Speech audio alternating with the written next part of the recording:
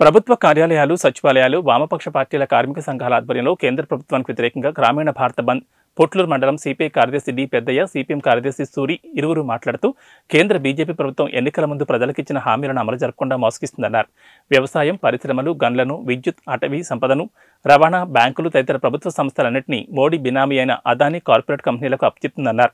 అలాగే కమ్యూనిస్టులు పోరాడి సాధించుకున్న ఉపాధి హామీ చట్టాన్ని నిర్వీర్యం చూస్తుందన్నారు. కార్పొరేట్ కంపెనీలకు ఆటంకంగా ఉన్న కార్మిక చట్టాలను రద్దు చేసి నాలుగు కార్మిక కోడ్లు తెచ్చిందన్నారు. రైతుల ఉద్యమానికి తలవంచి వ్యవసాయ నల్ల చట్టాలను రద్దు చేసినా మరో రూపంలో వాటిని అమలు పరుస్తామని చూస్తుందన్నారు.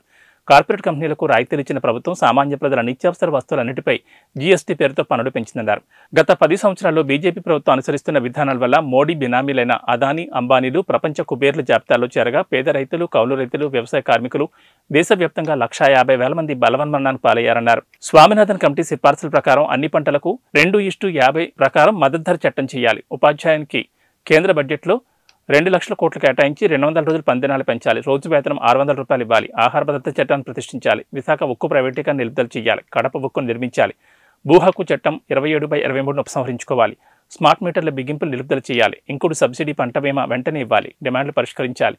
బీజేపీ ప్రభుత్వం చేస్తున్న ప్రజా వ్యతిరేక నిర్ణయాలకు వ్యతిరేకంగా ఈరోజు వామపక్ష పార్టీల కార్మిక సంఘాల ఆధ్వర్యంలో మండలంలోని అన్ని ప్రభుత్వ ఆఫీసుల్లో బ్యాంకులు బంద్ చేశారు. ఆడిపత్రి పట్టణంలోనే ఉద్యోగ కార్మిక సంఘాలు దేశవ్యాప్తంగా బంద్ తలపెట్టిన సందర్భంగా ఈరోజు కేంద్ర ప్రభుత్వం పంతొమ్మిది వందల నలభై ఏడులో సాధించినటువంటి నలభై నాలుగు కార్మిక చట్టాలను తుంగలో తొక్కి నాలుగు లేబర్ కోడ్ కోడ్ బిల్లులను ప్రవేశపెట్టాలని చెప్పేసి విశ్వ ప్రయత్నం చేస్తుంది. ఈ నాలుగు లేబర్ కోడ్ బిల్లులను ప్రవేశపెడితే PF ESI retired benefit pension సౌకర్యం అట్లాగే అనేకమైన సమస్యలు తలెత్తుతాయి. ఉద్యోగ కార్మికులకు అట్లాగే పన్నెండు ఎనిమిది గంటల పని పని విధానం పోయి యథావిధంగా బ్రిటిష్ పరిపాలనలో కొనసాగుతున్నటువంటి పన్నెండు గంటల ప- పని విధానం అమలు చేయాలని చూస్తోంది కేంద్ర ప్రభుత్వం. అట్లాంటి వాటిని అన్నిటి కూడా ఉద్యోగ కార్మిక సంఘాలన్నిటి కూడా వ్యతిరేకిస్తున్నాయి. ఈ పొద్దు పెద్ద ఎత్తున రాష్ట్ర ప్రభుత్వంలో ఉద్యోగ కార్మికులందరూ కూడా ఉద్యోగులందరూ కూడా సిపిఎస్ విధానాన్ని రద్దు చేయాలని చెప్పేసి పెద్ద ఎత్తున కదిలితే ఇంతవరకు కూడా పెడిచాన పెట్టేసింది.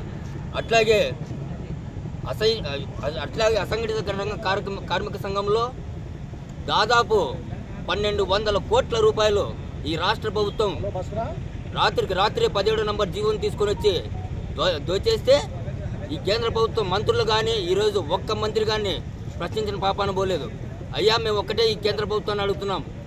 ఉద్యోగ కార్మిక సంఘాలే కాదు అట్లాగే మున్సిపాలిటీ కార్మికులు కరోనా కాలంలో అంగన్వాడీలు ఆశా వర్కర్లు మున్సిపాలిటీ కార్మికులు పెద్ద ఎత్తున వాళ్ళు అనేక మంది ప్రజలు సేవలు అందిస్తే వాళ్ళని ఈరోజు అయ్యా మాకు కనీస వేతనం ఇరవై ఆరు వేల రూపాయలు ఇవ్వని చెప్పేసి అడుగుతుంటే వారికి ఆ రోజు దండలేసి కాళ్ళు కడిగి నీళ్ళకి నీళ్ళు నెత్తిన వేసుకున్న నరేంద్ర మోడీ అట్లాగే దానికి వాళ్ళకి కేంద్ర ప్రభుత్వానికి బదిలీ చేస్తున్నటువంటి రాష్ట్ర ప్రభుత్వం కానీ కనీస వేతనాలు అమలు చేయమని అడిగితే రెస్పాన్స్ చట్టాలు తీసుకొని రావడము లేదంటే అరెస్టులు చేయడము లేదంటే ఇంకా నాయకులందరినీ కూడా పెద్ద ఎత్తున అరెస్టులు చేసి ఇబ్బందులకు గురి చేయడం చేస్తుంది.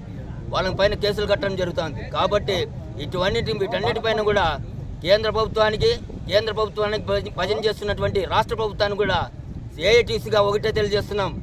ఉద్యోగ కార్మికులతో పెట్టుకుంటే పుట్టగతులు ఉండవు. ఉద్యోగ కార్మికులతో పెట్టుకోకండి. దయచేసి ఇప్పుడు ఎలక్షన్ ముందు వస్తున్నాయి ఈ ముందస్తు ఎలక్షన్లో మీకు ఉద్యోగ కార్మిక సంఘాలతో పెట్టుకుంటే పుట్టగతలు ఉండవని చెప్పి ఈ సందర్భంగా తెలియజేస్తూ ఏఐటీసీగా డిమాండ్ చేస్తున్నాం.